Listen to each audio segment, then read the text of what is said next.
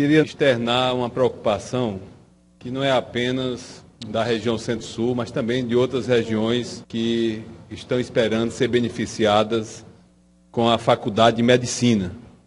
E os técnicos é, do governo federal vieram ao, ao, Ceará, foram aos municípios que estão pleiteando a, a, a Faculdade de Medicina e já tem uma avaliação é, desses municípios e que ficou é, predeterminado que no dia 30 de julho sairia o resultado dessa avaliação para que o interior do Ceará pudesse ser contemplado com cinco faculdades de medicina.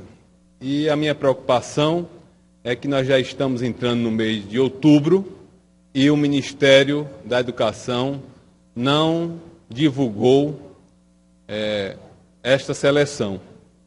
E nós tivemos no Iguatu uma audiência pública exatamente porque há uma ansiedade, uma cobrança permanente da região pela implantação da Faculdade de Medicina no município de Iguatu. E quem pôde acompanhar pela internet ou através de fotos viu que o auditório estava superlotado, pessoas ficaram de fora do auditório, demonstrando todo o anseio da preocupação e o desejo da região Centro-Sul com a implantação dessa faculdade de medicina.